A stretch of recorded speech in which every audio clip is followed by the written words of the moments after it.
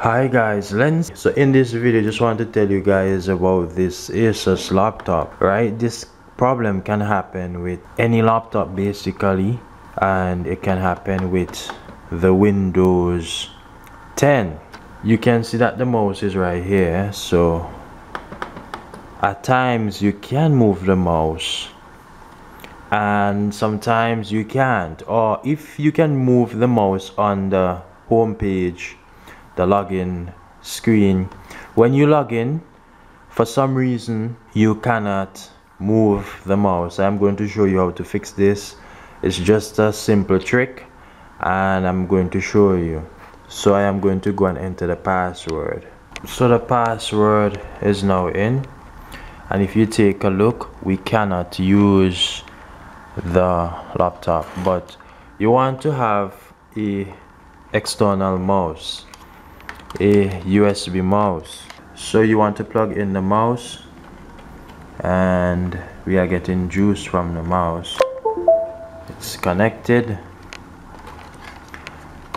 I want you to head over to my computer. So you want to go to my computer.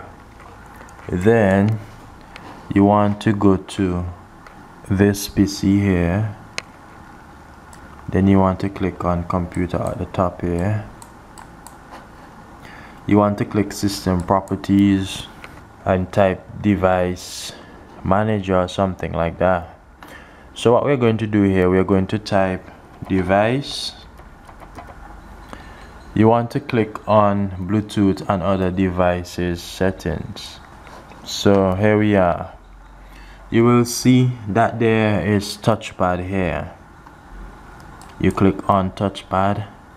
Then if you notice you can see that the touchpad is off. You want to turn this on. And as you can see I am using the external mouse right? So the touchpad should be working. And definitely it is working. And that's how we fix that issue guys for some reason if you happen to disable your touchpad by accident or or it happened from someone going through your settings not knowing what they are doing this is how you do it. So i hope that this video was helpful in some way. And all you have to do is to go into your settings and enable your touchpad. So guys my name is Lenz. If this was helpful do like share and subscribe